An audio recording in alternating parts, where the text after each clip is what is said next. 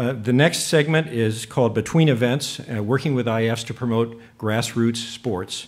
And I'm going to ask our next speakers as they come to the podium after they finish if they would please take a seat on stage, and if we then have time for questions, we'll, we'll handle those collectively. So the first of our presenters is Caroline Baxter Tresize, International Consultant, Sector for Social and Human Sciences with UNESCO and in Paris. Caroline?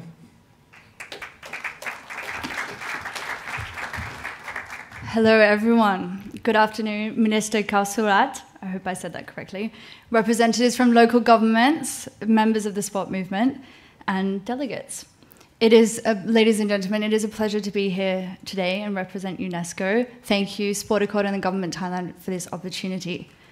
The focus of my presentation is partnerships at the local level to advance grassroots sport. Today, I will present one of our flagship programs within the UNESCO Sport Program, Transforming Cities Through Sport, which is a special initi initiative especially designed for multi stakeholder partnerships. So, local governments partnering with the Sport Federation and international development organizations such as UNESCO. We want to make a real and measurable contribution to development objectives through sport such as reaching gender equality, youth empowerment, or sustainable urbanization, which is the topic of today's presentation. So I think I have a clicker. I also only have 10 minutes and I don't want to go through the floor, so I'll try to. For those of you who are not familiar with UNESCO, it is a specialized United Nations agency with a mandate to protect and promote sport. To perform this important task, we have several instruments which guide us to support policy and decision making in sport. For example, the UNESCO Sport Charter in 1978 was the first document to declare sport as a fundamental human right. This was the entry point for UNESCO in the field of sport. The agency was concerned with the ethical aspects of sport, such as integrity and values. And it was the UNESCO member states, the governments, who pushed this agenda. However, although we are all aware of the power of sport in an anecdotal sense, there are many grassroots initiatives harnessing sport for positive social development. However, the international commun- development community, the United Nations, for example, remains somewhat skeptical about how much of a contribution sport can make to the UN Sustainable Development Goals. Recently, though, there has been renewed momentum from, for sport as a development tool. Faced with rising health costs such, and uh, non communicable diseases such as obesity, for example, which is the leading cause, cause of death currently worldwide, or mental health issues, which is the second leading cause of death worldwide for youth, governments are beginning to consider participation in sport as a worthwhile investment and, in many ways, a best buy option with far reaching and long lasting impacts. To capitalize on this momentum, UNESCO, together with many other experts from multi stakeholder groups, developed a new framework to support the sharing of good practice in sport for development. The Kazan Action Plan was adopted last year during MINEPS, the International Ministerial Conference for Sport Ministers, that is. And the action plan is exactly as the name suggests it is a consensus to push sport policy away from declarations of intent, for example, we will do this and uh, sport is great, to real action. And so um, this is an address to governments, but as you're all from local governments, it resonates, I'm sure, with you as well. Aligned with these considerations, relationships between city level governments who are closest to the beneficiaries uh, have valuable knowledge, together with various private and civil society organizations, including sport federations, can be configured in different ways to contribute collectively to sustainable development. Today, we are talking in UN terms about SDG 11 in particular. So, that is sustainable cities and communities, which I'm sure is a priority for many of you here today. We are experiencing a wave of urban growth internationally, with more than half of the global population, that's 7.6 billion people, now living in cities. And is, this is projected to rise by 5 billion by 2030. Much of this urbanization will unfold in Asia or Africa, bringing huge economic, environmental, and structural transformations. Considering that 25% of the world's urban population live in informal settlements, slums, this figure is particularly frightening. And of course, poorer regions that are developing rapidly, such as a lot of Southeast Asia, for example, they face extra challenges. When cities develop rapidly, public spaces, such as celebrated parks to play sport, are the first to disappear. These are my pictures for impact.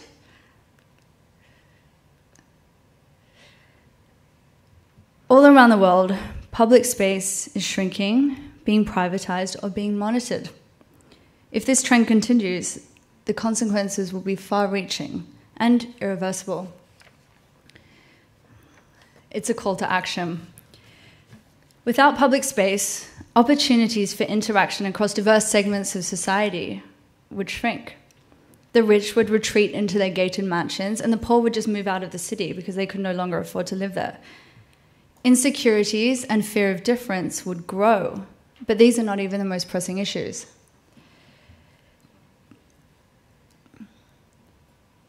The way in which cities develop will have an enormous effect on our future and the future of sport. Ensuring sustainable, inclusive urban development begins at grassroots initiatives, and this is where we can all have an impact. It's through partnerships. The good news is local governments, together with sport federations, can do a lot by, just by working together. National federations, sport federations around the world, have access to athletes and other resources. Local governments can allocate space and promise not to develop it. And they can make sure that this space is, remains open, inclusive, and, and allocated for sport. Even in the face of pressure, it is really important to resist and make sure that we keep our parks open because this is it's devastating if it disappears. A great way to do this could be in parallel to hosting events as part of a social responsibility program. And so this is another call to action. Through multi stakeholder partnerships and initiatives at the local level, we can make a difference in cities.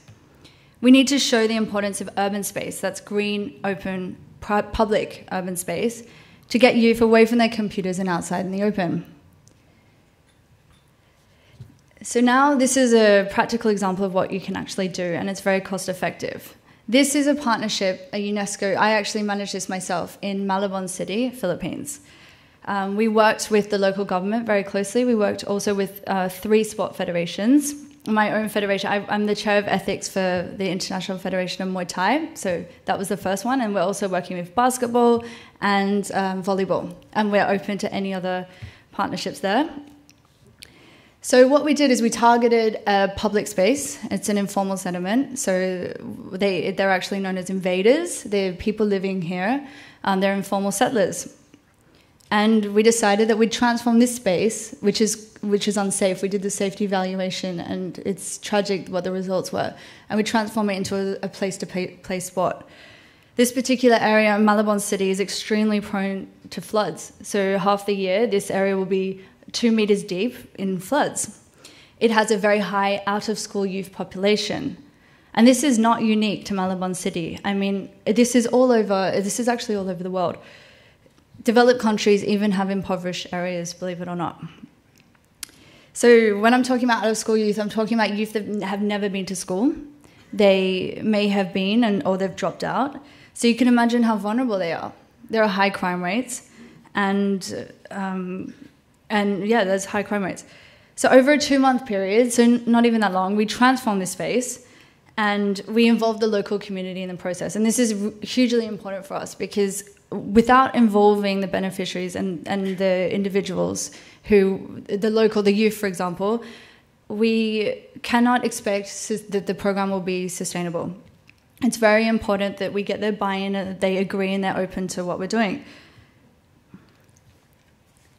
So, for example, this is the youth. We had a cleanup day. I had so many other pictures, but we have time constraints. So, so this is us ripping up the area, for example, and we really did involve the youth as much as possible and had fun. We played music. So this is a video. Um, if someone's got the computer, oh.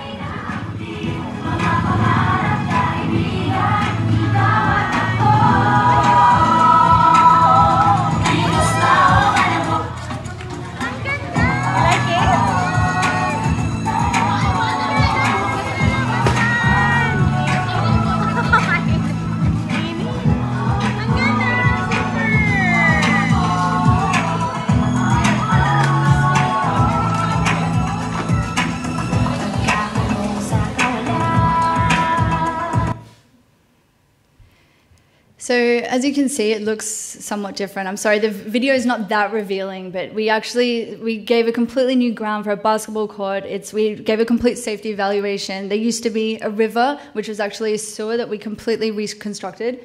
And ladies and gentlemen, this cost us eleven thousand dollars, including one year of sports training for the youth and interventions with child psychologists, etc. So this was very cost effective. As far as development programs go and interventions, this was this did not cost us much money. My call for action is please, while you are planning your events, please consider to allocate a small percentage of the overall budget to these kind of initiatives. I promise you the return on investment in the long term will be significant. And in the short term, you have a very good program that you can use for your own publicity, etc. The UN, especially UNESCO, is very open to these initiatives, and I welcome you all to launch transforming cities in your cities, transforming cities through sport in your cities. Um, I have some more things to say, but I'm quite conscious of the time, so I think to conclude, yes, please. Um, I've got some contact information. Oh, here's some more photos. So this is what actually it looked like when we got it going. And the thing is, we build the capacities of these youth to be the trainers for the next youth. So it's actually they get involved and they, they really run it themselves. Here you go, so you can have a look. It's all different ages.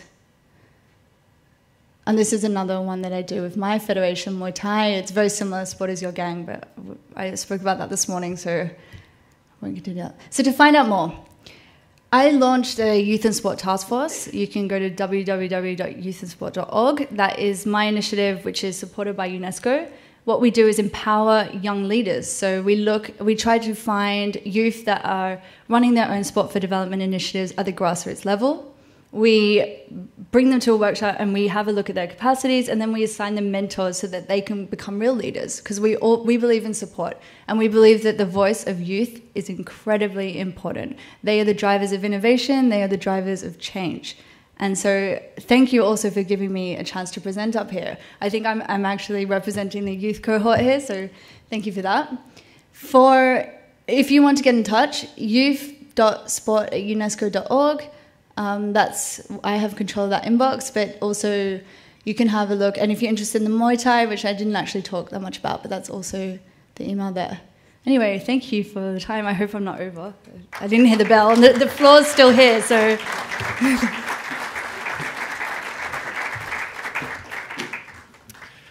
well, I would agree that $11,000 is a bargain for what she was able to present there. And that was both inspirational and aspirational. So thank you, Caroline. The next of our three presenters for this segment is Jerome Lacroix, the Business Development Manager for the UCI, the International Cycling Union. So, Jerome? Yes. Please join us.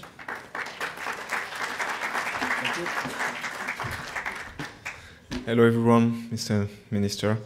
And I'm happy to see a lot of uh, UCI partner in the room, a few cities we are working with, and hopefully a lot more to come. So um, I, I, would like to, um, to present uh, our vision of what we consider should be the mission of a federation between events. Um, as you might know, the UCI is the cycling federation, so we manage, uh, among other disciplines, five Olympic disciplines and two para cycling disciplines. So we organize close to 60 events per year and we have uh, 190 national federations across the world. But we are not considering ourselves only as promoting uh, a sport, but also a healthy recreational activity and a mean of transport. And not every federation has this uh, specificity.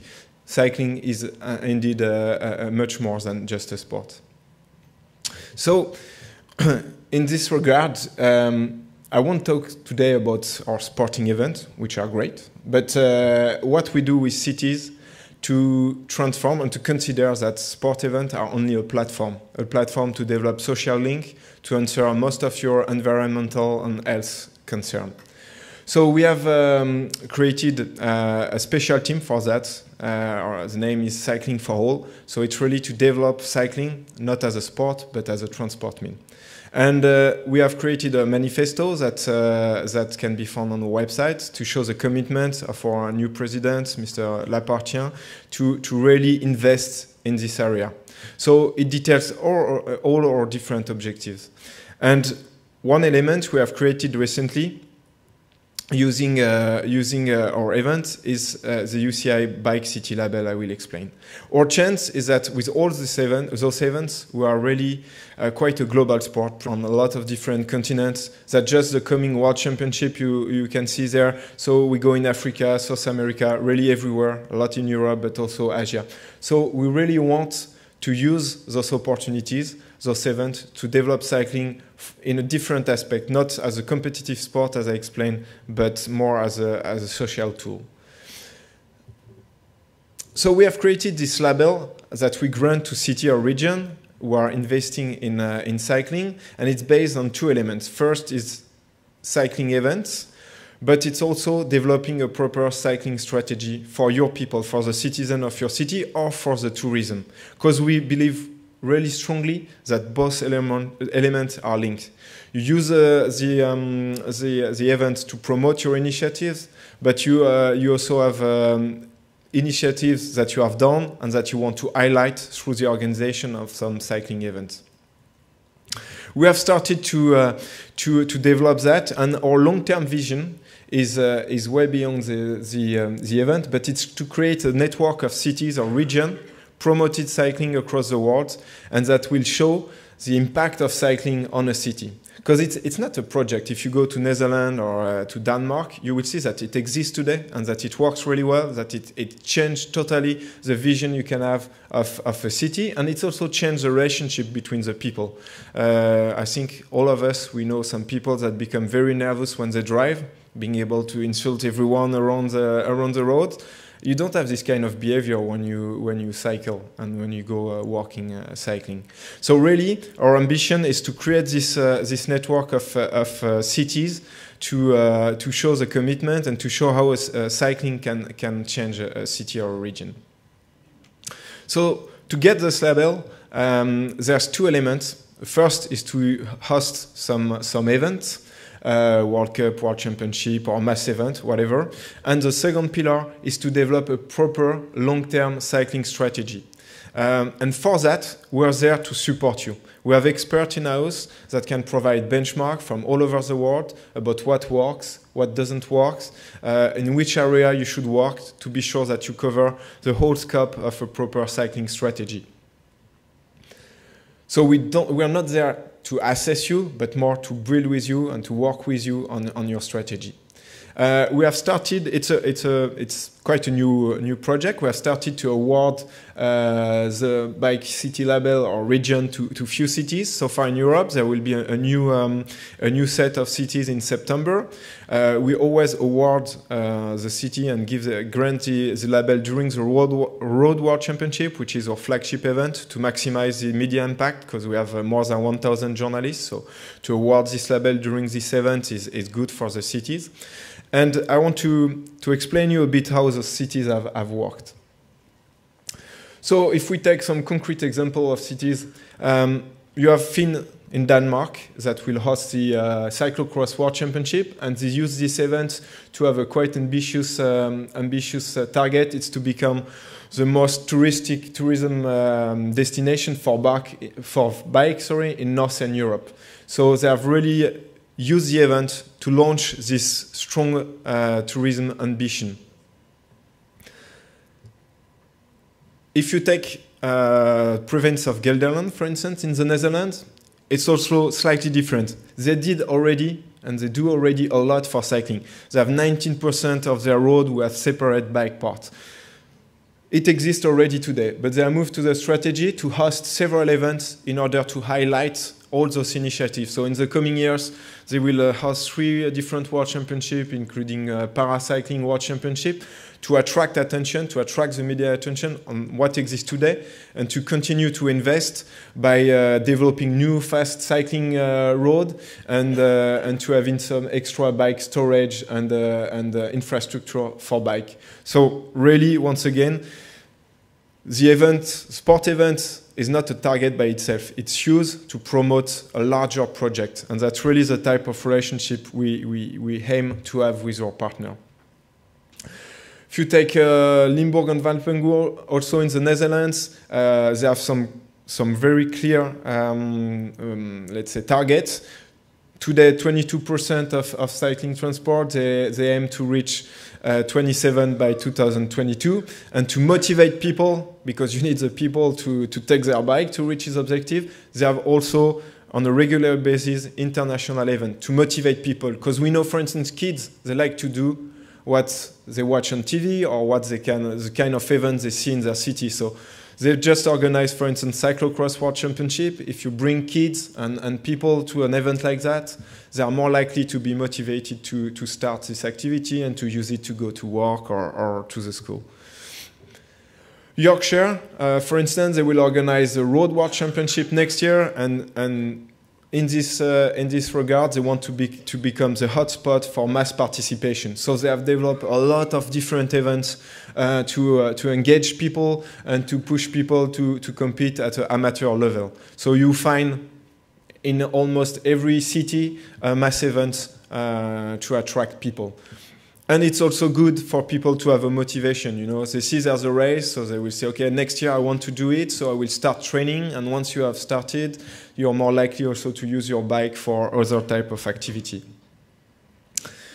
Bergen, they had a very cool program. Bergen, they just organized a Road War Championship, and from the moment they have been awarded until the event itself, they have uh, engaged strongly with the school. More than 4,000 uh, kids have participated to, uh, to some program. The teacher have been uh, named as ambassador of cycling, so they have been trained uh, to do so. So really, before the event, they have developed a full program to, to, uh, to engage people, not only to attend to the event, but in order to have a really legacy out of the, of the event.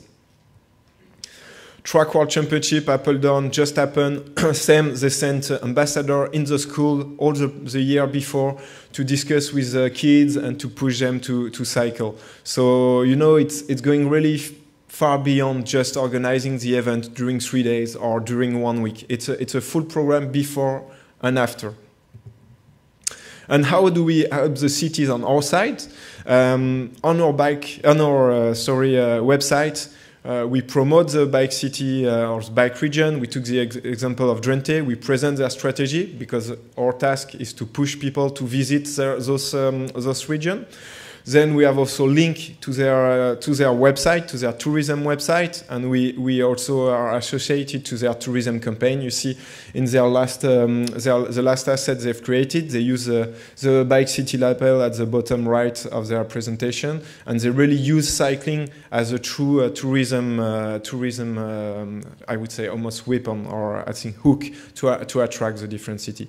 So to sum up, really, it's it's to make you understand that uh, the way we work, and I think that the the way we should uh, we should all work is that the event is just a platform, and we we create also the Bike City label to force you to go far beyond the uh, only the event organization and the operational part, but to have a roadmap to prepare the events, to create some social activity before and after. Really, what we want is that when we bring a cycling event to a city the citizen, they need to see the change of how the city was before hosting the event or bidding for the event and how it will be after.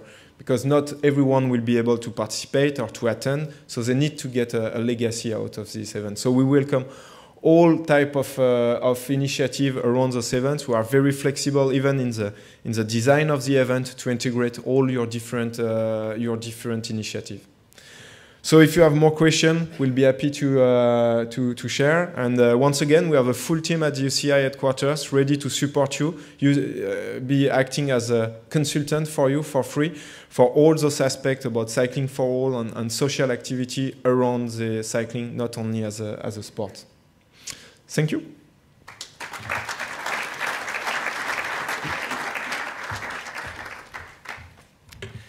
Listening to that, I couldn't help wondering, and I mean this seriously, whether there might be a connection between the UNESCO program and Cycling for All. Uh, so, yeah. Yes, okay, good to hear.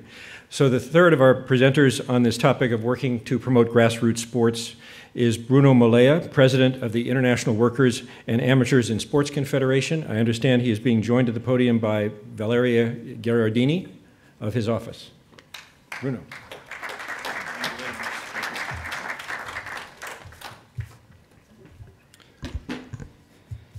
Good afternoon, everybody. Me and Valeria, we are very glad to be here today. First of all, uh, we, we like to present our uh, organization, CSIT. CSIT is a very big confederation. CSIT is the International Worker and Amateur in Sport Confederation, and especially the topic of our brand, the World Sport Games. I would like especially focus on the organizational model of uh, World Sport Games and the impact of uh, into the involvement of the local community. Our main topics are in fact uh, the World Sport Games is an international major multi-sport event which has an impact on the economic development of a local community. They organize an edition of the World Sport Games, we need the involvement of the local community, local sport federation, association working especially on grassroots sport, cultural association, tourism sector.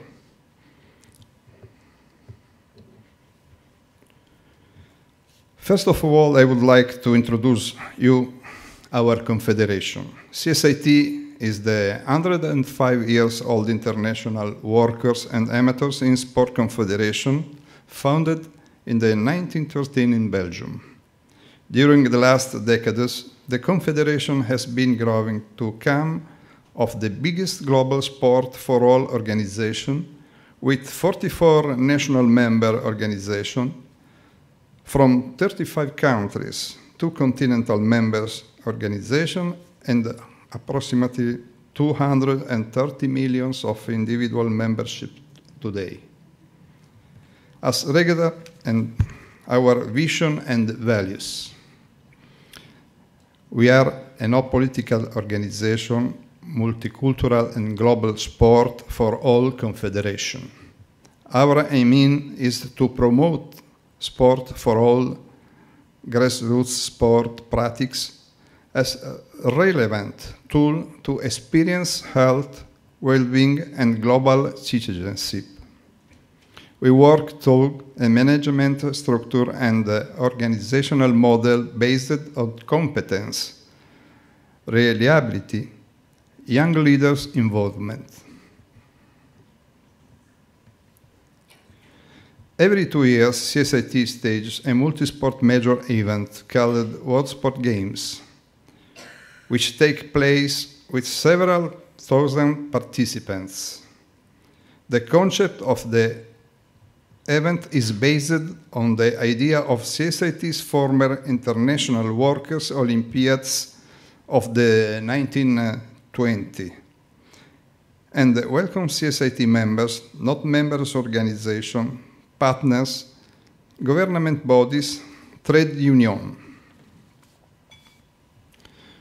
and a campaign with sport activities for employees worldwide.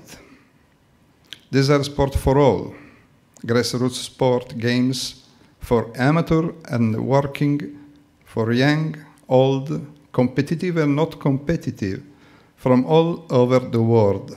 A festival of uh, friendship, cultural exchange, tolerance, respect, sustainability, and fair play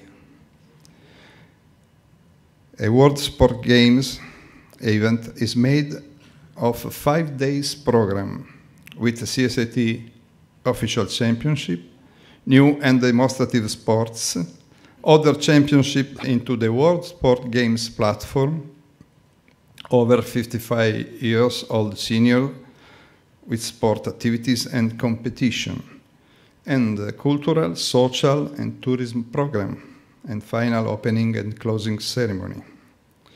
Okay, at this moment uh, I finish my uh, little presentation and I give the floor to Mrs. Gherardini for the last presentation.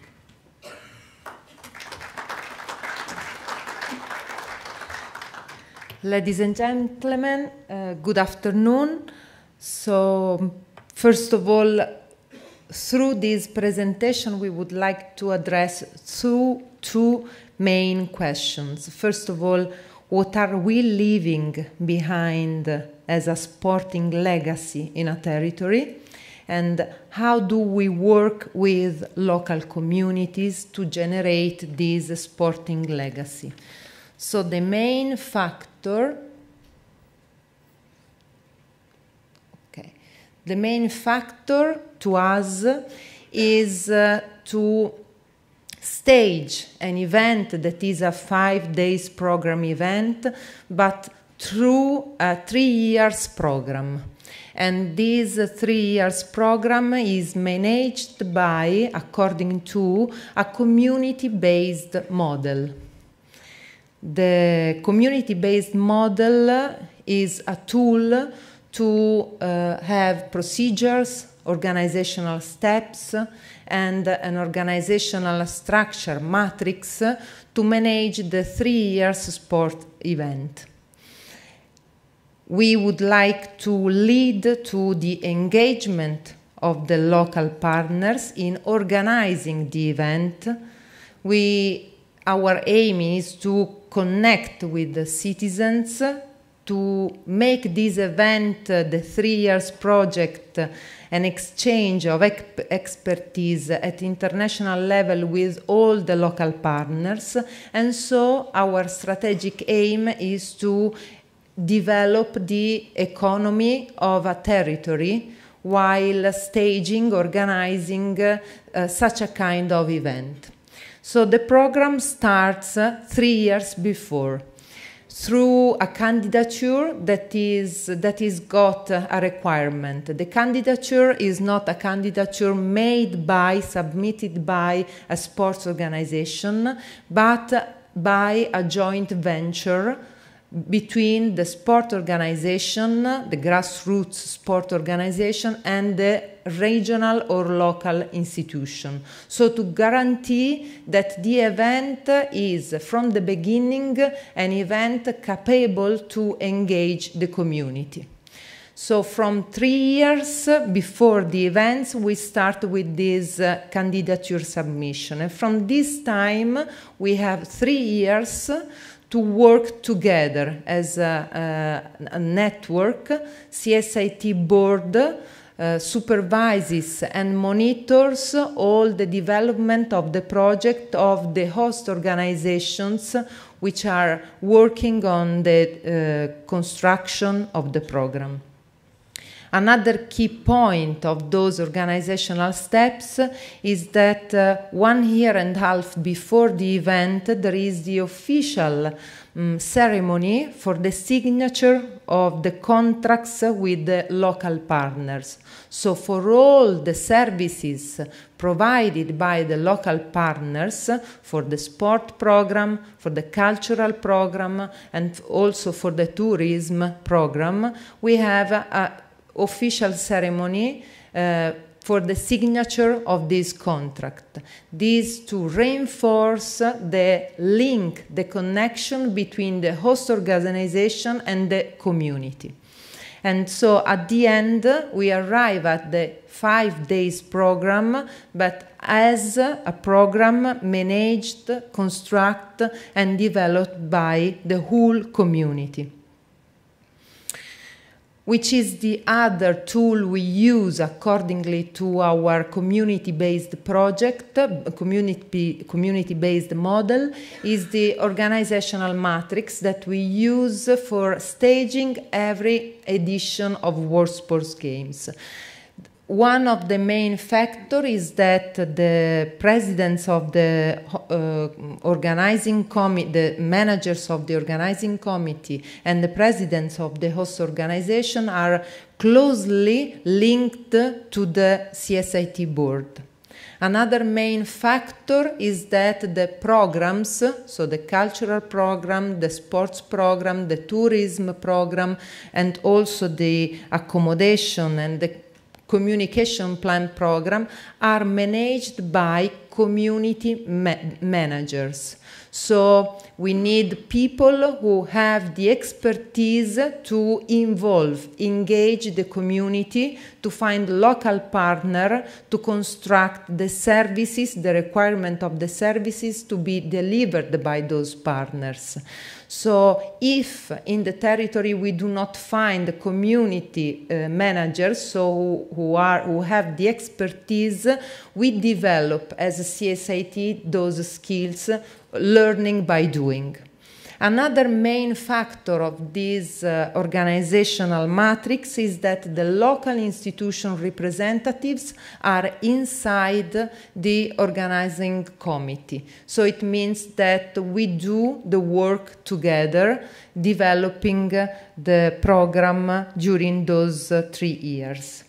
So at, at the end of those years, we have uh, an event and uh, the main results we gain are for the local partners, they have gained the expertise at international level, the knowledge at international level, also to sustain the motivation that started born for people who participated at the event. And uh, we developed also the economy of a territory because uh, the sport program, the cultural program, the tourism program is a fair for which, through which the territory had the chance to uh, get visibility at international level. So the championships are uh, the one we are seeing now. So we are going through quickly um, for uh, having a, a, general view of the highlights of the World Sports Games event. First of all, the sector of official championships. We need at least four countries competing in those kind of events. Then we have a platform hosting international or national championships. So it means that World Sports Games become a place giving services to other kind of sports organization. We have a, a department that is specially uh, defined and developed uh, uh, for plus 55 years old people, and so seniors sports activities. And we have a sector made of demonstrative and new sports. This is uh, a sector that for us is a key sector because uh, uh, this launches many opportunities. First of all, for citizens to practice new sports, for sport provider to have a stage to test their sport and to enlarge the audience, for CSIT to uh, test some new sports to see if those new sports become uh, official championships in the next future. Another topic is the cooperation with the European Fair Play movement. We have a joint venture spreading the message of fair play and tolerance in the broadest sense through the establishment of the Fair Play Green Card Award that is uh, given into the closing ceremony every edition of World Sports Games. So finally, we would like to launch the video of the next World Sports Games edition that will be staged in Tortosa 2019 just to stress the fact, as you see, that this event is organized in joint venture with the region of Catalonia, the municipality of Tortosa, and for the first time we start a new project that is a research pilot project with the involvement of two universities to evaluate to what extent World Sports Games event uh, give the economic is an economic driver for the local community. So now we try to